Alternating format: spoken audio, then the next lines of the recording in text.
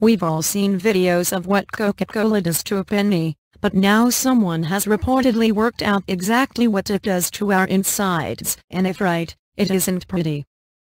The Renegade Pharmacist, a blog run by pharmacist Niraj Naik includes a seven-step breakdown of the drink's supposed effects.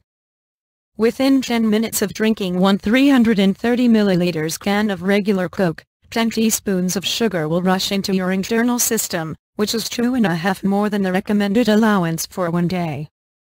The sugar hit is so intense, he says that you would normally vomit but for the phosphoric acid which inside the coke cuts the flavor so you can keep the liquid down. In the next 40 minutes or so your pupils will dilate, your blood sugar will spike and you will get a huge caffeine hit. After 60 minutes and the rave inside of you is complete, you will crash, need to urinate and become irritable. ULL probably want another Coke.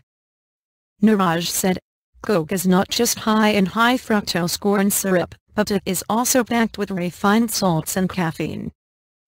Regular consumption of these ingredients in the high quantities you find in Coke and other processed foods and drinks can lead to higher blood pressure, heart disease, diabetes and obesity.